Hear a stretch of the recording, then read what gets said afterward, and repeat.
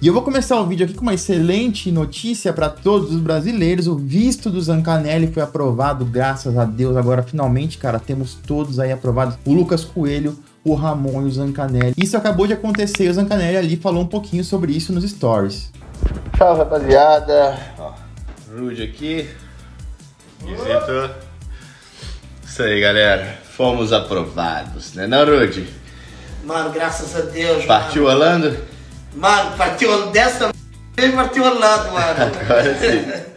Eu não tinha falado, mostrado aqui a cara aqui antes que eu tava na escada quando eu recebi a notícia, gente.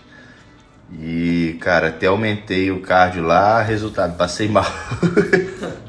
passei mal na escada e agora que acabei de comer aqui em casa, vim pra casa, já tô melhor. Mas essa notícia é mais detalhada no canal da Integral. Sobe quando, Gui? Agora, daqui a pouco. Aí sim, moleque. Então fica esperto que vai sair tudo lá no canal da Integral. A gente falando sobre essa, mais essa etapa vencida aí.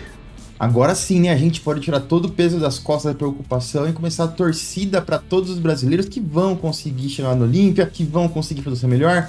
Semana que vem vai ser muito legal. Hoje é sexta-feira, daqui uma semana exatamente estaremos aqui com vocês fazendo lives, vídeos aí, curtindo todo mundo junto. Vai ser muito joia. Parabéns aí pro Zancanelli, pro Ramon e pro Lucas que conseguiram seus vistos e agora partiu. O Kaique tá por lá já, junto com a Angela Borges também, já faz um tempo. Ele postou aí ó, algumas coisinhas, um treinozinho de costas e ele postou um clipe mais ousado. Olha isso aqui, mostrou as costas aqui, tá com a densidade boa, o grande dorsal dele muito marcado, tá estriado, tá com uma boa divisão, tá com uma chupada aqui, hein, O que foi isso aqui, será, hein, mano? Tá falando sério mesmo? E no fim ele faz uma expansão, mostra um pouquinho ali as costas. Também muito legal ver o Caicão aí se aprontando, finalizando para o Mr. Olímpia e vai ser um ano muito bom para os brasileiros. E também lembrando vocês aí que tem o Whey no site da Growth, entrem lá, tem esse bannerzinho, fecha o banner, escolhe o sabor e eu queria fazer um agradecimento especial para você que tá me vendo aí, cara. A gente bateu mais um recorde de vendas aqui na Growth. Eu não tenho como agradecer assim do fundo do meu coração. Muito obrigado para você que compra aí, que usa o meu cupom. Vocês não têm ideia do quanto isso ajuda o canal, do quanto isso me dá suporte para continuar, do quanto isso apoia a gente, motiva aqui a fazer, continuar produzindo vídeos e o quanto isso mostra para Growth que vale a pena continuar apoiando o canal. Então, mais uma vez, do fundo do meu coração aí para todos vocês que compraram Growth, muito obrigado.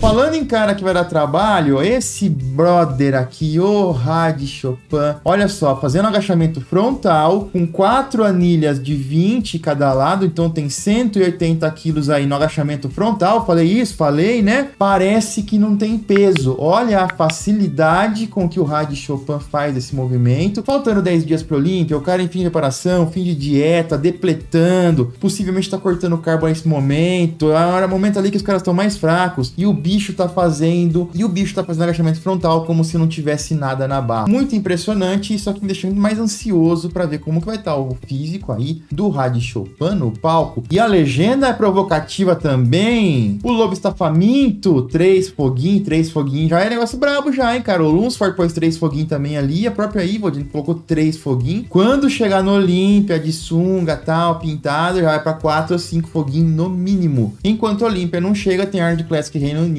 amanhã para vocês esse final de semana aí. O favorito é o Nathan Deacha, ele postou aí, ó, dois dias antes do show, é ele posando. É muito impressionante o físico dele, é muito freak, muita aberração, muito volumoso. Tá bem seco aí, ó, aparentemente bem condicionado, peitoral aí com vascularização, bem estriado. Faltam dois dias ainda, não deve ter começado o carbapo, então deve ser o momento que ele tá murcho ali, é um momento que o físico tá sem muito corte. E o físico dele é muito impressionante, né? Na academia, olha só, aspecto sólido, separação muscular, o bicho é muito volumoso. Acho que é um pouco difícil acontecer alguma coisa, a menos também que aconteça uma tragédia aí, eu acho que as chances são enormes do campeão Nord Classic Reino Unido, seu Nathan De acha Tudo pode acontecer, mas amanhã nós vamos descobrir isso aí. E por enquanto é só, mas eu volto daqui a pouquinho com vocês com mais vídeos, pessoal. Valeu!